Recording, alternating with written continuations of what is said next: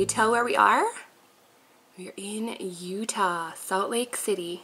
We're gonna be here for the week. So it's kind of fun, kind of challenging um, to move the whole, move your whole life somewhere else for a week, but that's what we're doing this week. But look, it's pretty cold, but it's not snowing. Surprise! Check it out, guys. This is the natural texture of my hair. So I'm gonna fix this and then we'll start our day. Okay, now I look a little bit more like myself. So I know a lot of you have asked for a makeup and hair like tutorial, getting ready type video, and I'm working on that. There is a special video about hair and makeup in the works, so watch for that one. So anyway, I thought I would give you a little explanation about why we were in Utah. Um, my husband is an entrepreneur and he owns several small businesses, which is great because he can make his own schedule.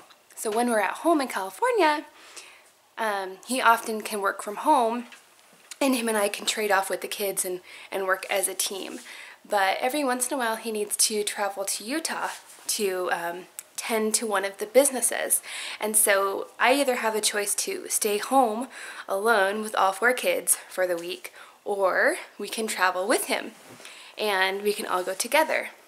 But while we're here, he still has work that he has to do. So sometimes we will come with him to Utah and sometimes we'll stay at home.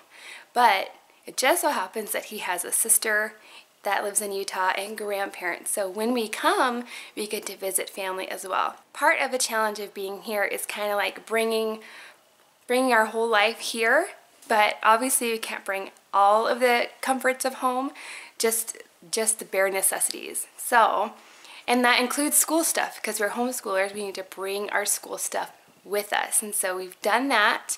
We're about to get started with school right now. We had breakfast this morning. Everybody got dressed and fed. Griffin is sleeping, so it's a perfect time to get started on school.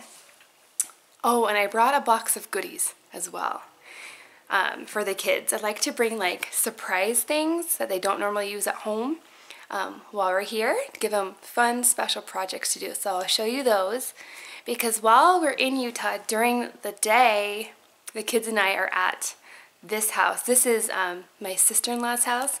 She's so nice to let us stay here.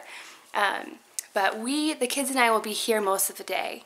And then when John gets back, then we'll go do some fun activity or go to Costco or something that we like to do when we're here, visit family.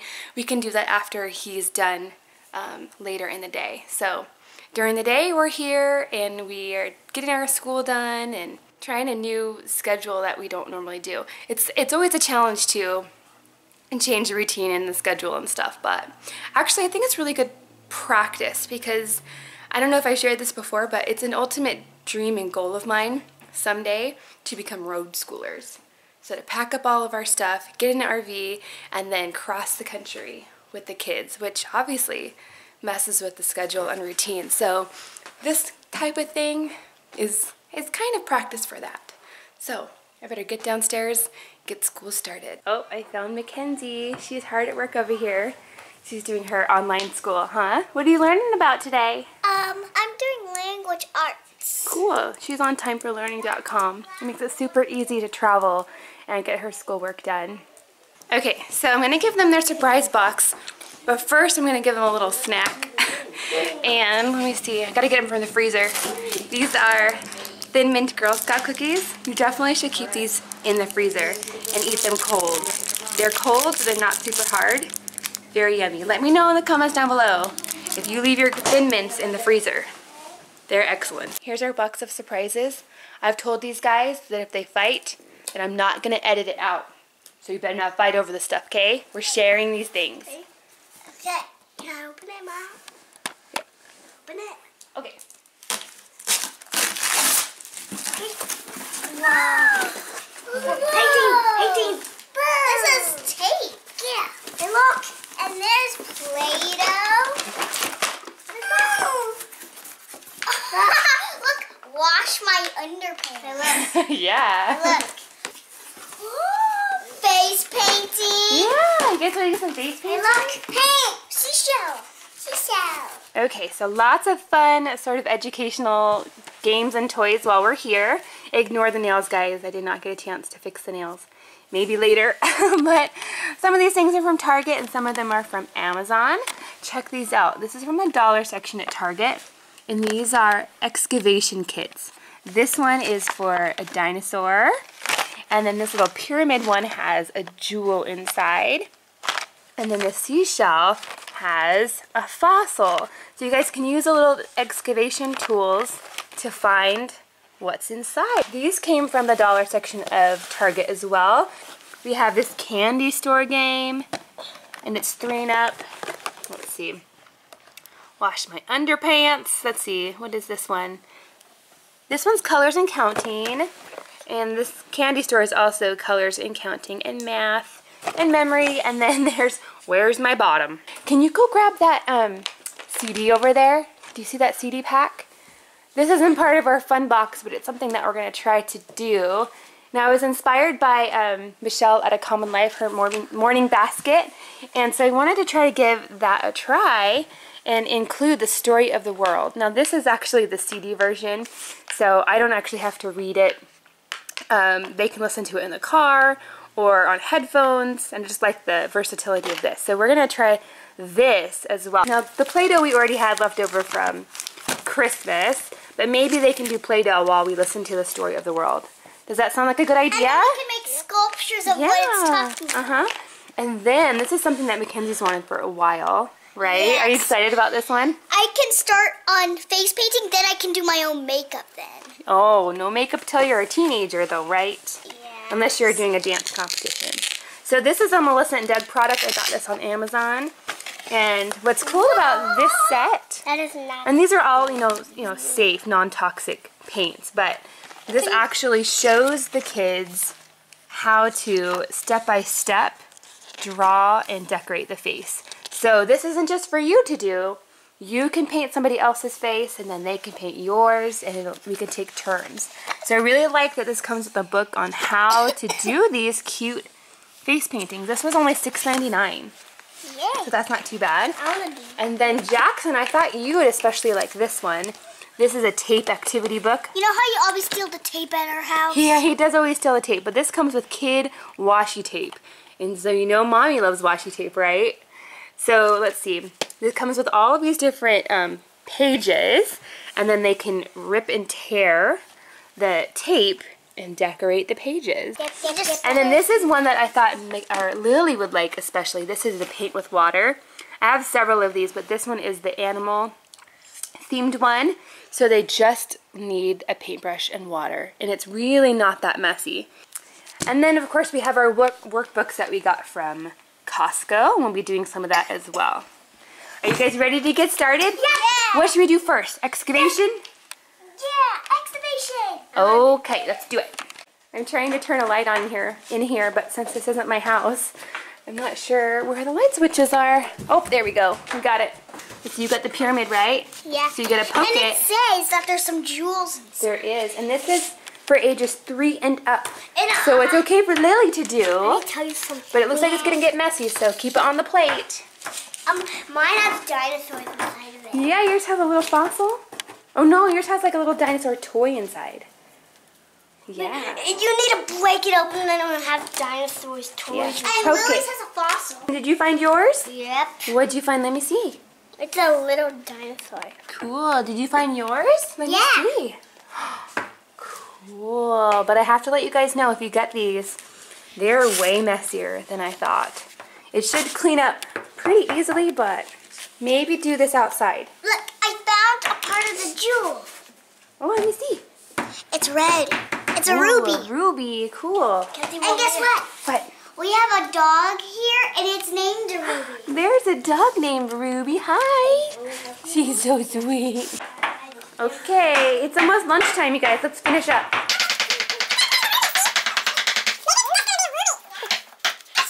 All right, I got that all cleaned up. It actually cleaned up really easily. It wasn't too bad at all. But look who woke up. Hi, Griffin. Did you wake up? Hi. So we went out last night after we got to town, we went to Walmart and picked up this little walker because I needed a safe place to put him down when we were here. And I couldn't bring my whole walker from home because it's just too big to fit in the car. So we picked up this little one for like 30 bucks and he's loving it. Can you walk? Come on, walk to mama. It's still kind of hard for him to walk, but yeah. So now I'm gonna work on some lunch. For lunch today, I'm making the kids some mac and cheese. And I'm gonna have my mac and cheese and we'll have oranges and strawberries. Just keeping it simple. We're taking a brain break. Counting to 100. 9, 10, Because of the activities. 11, 12, 14, 14, 15, Are you watching those guys dance? 44, 45. How come you're not doing Pretty it? baby. You be nice to that doggy. You had to be nice to the doggy. Yes, be nice. So we're just gonna hang out until John gets back and then maybe we'll go to the DI, the thrift store. That'll be fun. Oh, be nice.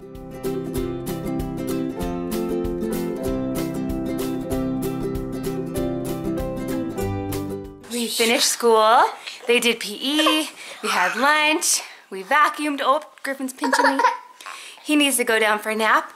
And then I'm gonna let these guys do painting. I'm gonna do face painting. Right, so we had to abandon the face painting because they were not getting along.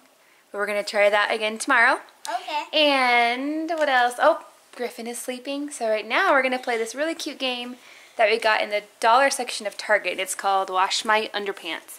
So we have this cute little washing machine. And then all of these, we have all of these underpants. So it's basically a matching game.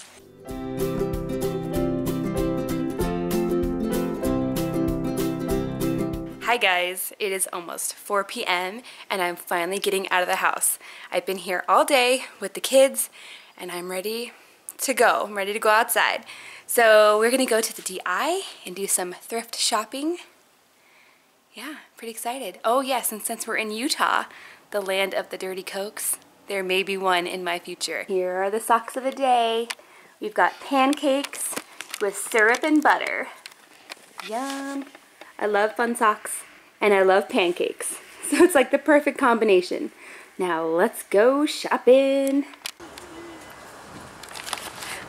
We made it! We're here! But they're gonna close in 30 minutes because it's Monday and they let everybody go home early for family home evening on Mondays. So we're just gonna do what we can do and maybe come back tomorrow. But first I wanted to show you. Check out my car, you guys. Look how dirty. This is what happens when you drive from California to Utah at winter time. So definitely a car wash is in the future. Oh, there's those crazy kids. Let's go. Okay, so we only had 30 minutes in there and that was not enough time. So we'll probably go to another DI or a different DI tomorrow and see what we can get. And at the end of the trip, maybe I'll do a DI haul and show you everything that we ended up getting. Because if you're, if you're new to this channel, um, about every six months when we visit Utah, I like to visit the DI and stock up on my kids' clothes like boots and denim jeans and things like that. And I'll usually buy what I need for the next season. So all the pants they're gonna need for winter, I'll buy all at once. And they're like two to three dollars a piece. And so we save a lot of money that way. So I'll go ahead and um, put an iCard up here if you want to check out my last DI haul. Put that right there and you can check that out. We're going to try this new place called Thirst. Check out the menu here, all the different flavored drink combos you can get. But of course, I'm going to be getting this one that they call Smooth Classic. Coke, coconut, vanilla cream. But where's the lime? I need lime in it. Oh, here we go. The Little Mama Diet Coke with coconut and lime. Or you could get the Hissy Fit, which is Diet Coke, pineapple, coconut, and coconut cream. That sounds good. Lots of yummy combos. Here's the pricing, in case you're curious. That's not bad for around here. Okay, what should we get?